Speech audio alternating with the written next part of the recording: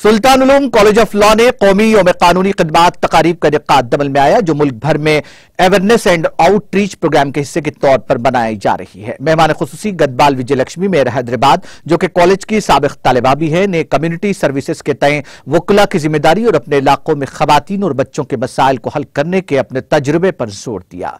उन्होंने कहा कि वो इदारे की सबक तालिबा होने पर फख्र महसूस करती हैं।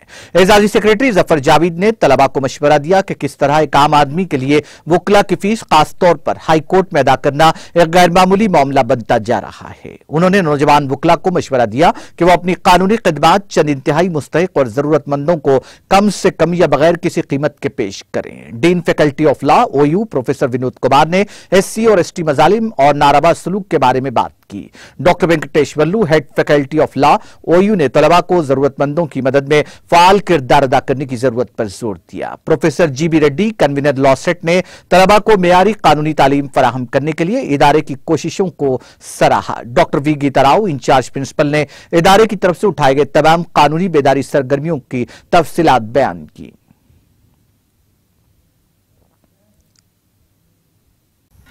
नाजरीन, हमारे टी टी टीटीवी न्यूज़ को सब्सक्राइब करिए बेल आइकॉन को प्रेस करिए शेयर करिए और लाइक करना ना भूलें। और किसी एडवर्टाइजमेंट से मुतल जानकारी के लिए हमारे इस नंबर पर कॉन्टैक्ट कीजिए। हमारा नंबर है nine double five zero one zero two zero two zero